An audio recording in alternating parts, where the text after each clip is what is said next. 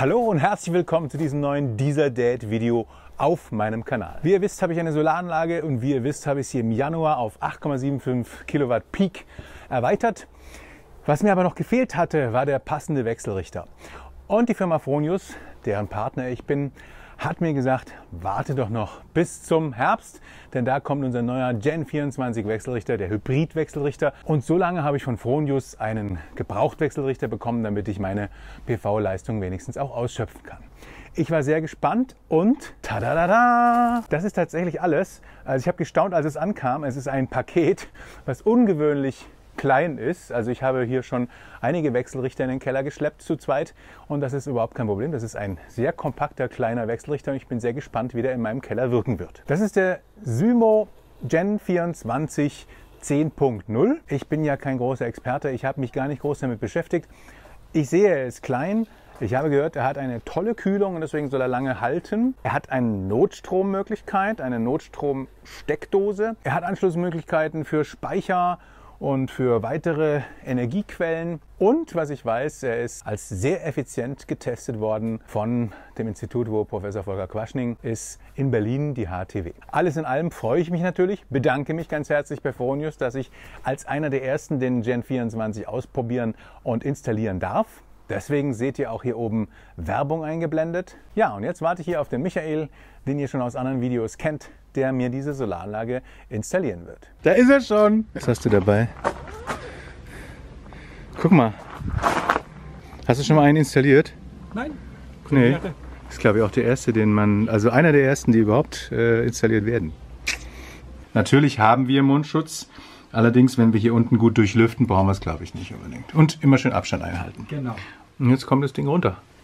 Äh, noch nicht. Ich muss erst alle Schrauben lösen, alle Stecker lösen, alles rausmachen und dann schraube ich ihn von der Wand. Okay. Die letzte Schraube. Ah. Und da geht er hin, der Alte. Und macht Platz für die neue Generation. So sieht's aus. No. Den schicke ich übrigens wieder zurück. Den hatte mir Afronius nur für die Zwischenzeit ausgeliehen. Äh, und jetzt habe ich einen neuen bekommen. Und den packen wir jetzt wahrscheinlich wir packen jetzt den neuen aus. Ist das okay? Den alten konnten wir nicht alleine tragen, du erinnerst dich? Ach guck, da steht auch nochmal alles drauf. Das ist ein Unboxing, nennt man das aber jetzt übrigens auf YouTube, gell, was du gerade machst, Michael. So, das ist das schöne Stück. Mhm. Sieht irgendwie ziemlich äh, kompakt aus. Und irgendwie sieht er ein bisschen futuristisch aus hier mit seinem riesen Propeller. Oh, jetzt müssen wir nochmal zurückspulen, denn da hat was noch nicht ganz gestimmt beim Auspacken. Wenn man hier aufmacht, dann liegt da normalerweise die Wandhalterung. Oh, und da ist sie auch schon. Ja, dank dem äh, Fronius Laserdienst sofort angekommen. Und jetzt sind wir mal gespannt. Äh, das sind wahrscheinlich nicht dieselben Löcher wie, bei der, äh, wie beim alten Wechselrichter, oder? Schauen wir dann mal. Mhm. Ein Loch passt. Wunderbar. Dann äh, würde ich mal sagen, Bohr mal schön. Dann wird erst wieder gebohrt. Okay.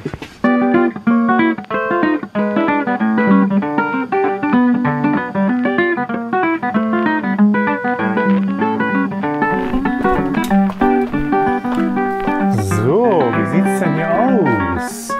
Guck mal da. Das ist nämlich hier so eine Besonderheit. Der PV Point.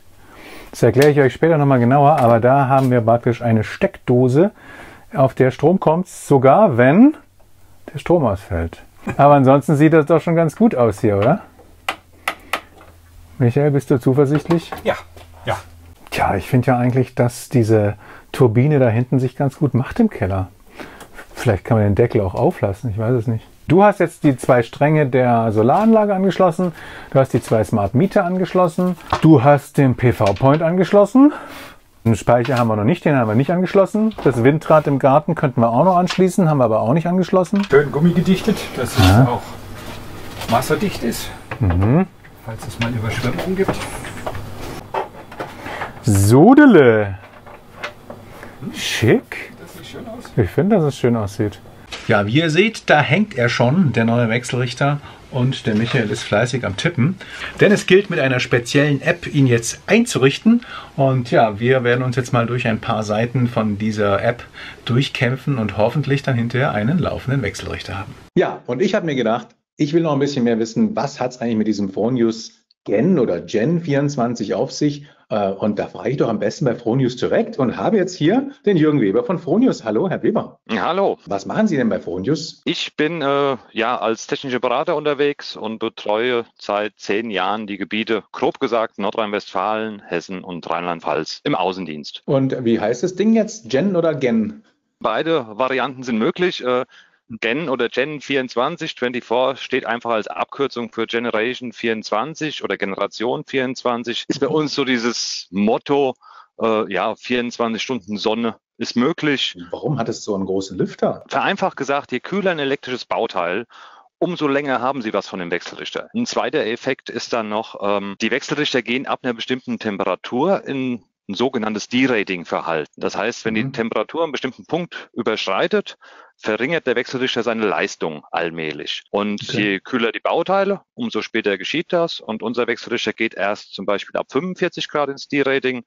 Andere Wechselrichter gehen natürlich dann schon ab ca. 30 Grad ins D-Rating. Die HTW Berlin, glaube ich, hat ja Wechselrichter getestet und da hat der Gen 24 irgendwie, glaube ich, eine her hervorragende Effizienz bewiesen. Ja. Liegt das zum Beispiel an diesem Lüfter oder woran liegt das noch? Natürlich spielen die einzelnen verschiedenen äh, Features eine sehr, sehr große Rolle, aber es mhm. kommt ja aufs Gesamtkonzept an und der Gen 24, sage ich jetzt, äh, ja, hat als erster Wechselrichter in Kooperation mit der BYD-Batterie diesen höchsten Systemeffizienzgrad von 94 Prozent erreicht. Werde ich davon jetzt auch was spüren, obwohl ich keinen BYD-Speicher habe, dass der besonders effizient ist? Wie wird sich das bei mir auswirken? Der Jahresertrag dürfte höher sein, weil die Effizienz einfach größer ist als bei anderen Systemen.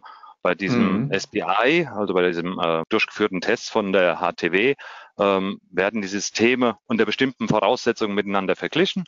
Und so kann man sagen, das stärkste System, unser Fronius-System, bei einem Jahresertrag theoretisch von 10.000 Kilowattstunden mhm. hat äh, ja eine Minderleistung von 470 Kilowattstunden ungefähr. Mhm. Und das schlechteste okay. System, was getestet wurde, liegt ungefähr bei 1070 Kilowattstunden. Also ein Unterschied okay. von 600 Kilowattstunden, die mhm. Sie natürlich dann auch aus dem Netz beziehen müssen. Jetzt haben wir schon gesagt, kompakt, das habe ich festgestellt, der Lüfter, wofür er da ist, dieser schöne Wirkungsgrad ähm, oder die Effizienz. Was sind denn noch so die weiteren zwei äh, entscheidenden Merkmale, die jetzt diese neue Generation von Wechselrichter bereithält? Ich würde mhm. sagen, äh, es ist auf jeden Fall die, die, die Flexibilität, die das Gerät bietet. Es hat ein integriertes Schattenmanagement. Es kommt praktisch mit jedem Dach zurecht. Zwei sehr, sehr leistungsstarke MPP-Tracker und der mhm. zweite wichtigste Punkt, Notstrom. Das Gerät mhm. bietet äh, zwei Varianten an Notstrom. Einmal kostenlosen PV-Point. Da haben Sie einen mhm. kleinen Notstrom in Anführungszeichen.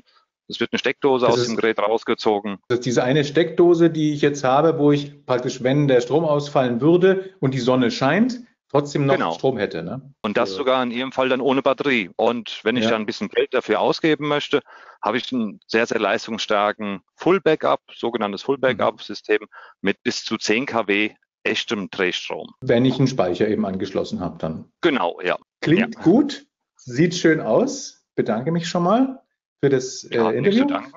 Irgendwie ist mein Keller jetzt nicht mehr äh, schön genug für diesen Gen 24.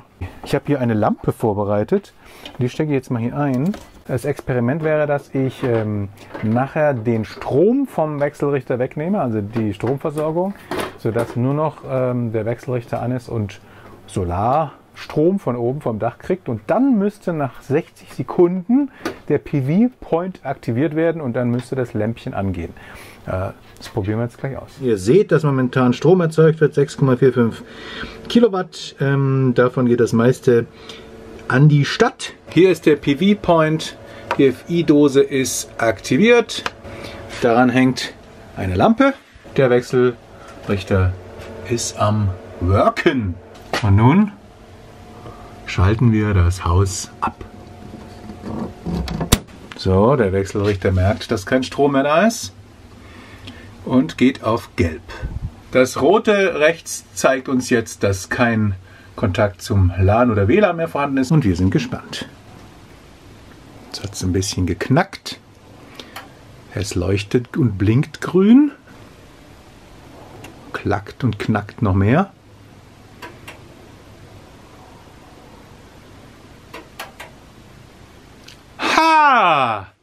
Habt ihr das gesehen? Die Lampe ist von allein angegangen. Hier ist die orangene Diode, die zeigt, dass wir einen Notstrom haben. Genial, es hat funktioniert. So könnte ich bei einem Stromausfall bis zu 3000 Watt praktisch über diese eine Dose beziehen, um zum Beispiel ein Kühlgerät zu betreiben oder die nötigsten Geräte am Laufen zu halten. Jetzt hängt das Ding. Vielen, vielen Dank. Ja. Ähm, ich bin gespannt, wie das Ding funktioniert. Und wenn mal der Strom ausfällt und du brauchst einen Kaffee, dann kommst du zu mir. Ich habe jetzt so eine Notstromdose. Ne? Vielen Dank. Also. Tschüss, Michael. Tschüss. ja, ich hoffe, euch hat dieses Video gefallen und ihr seid auch nächstes Mal wieder dabei. Euer Diesel Dave.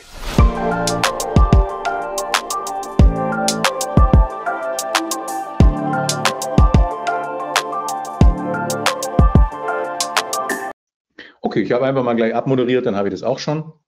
Von meiner Seite aus, ich brauche nicht mehr.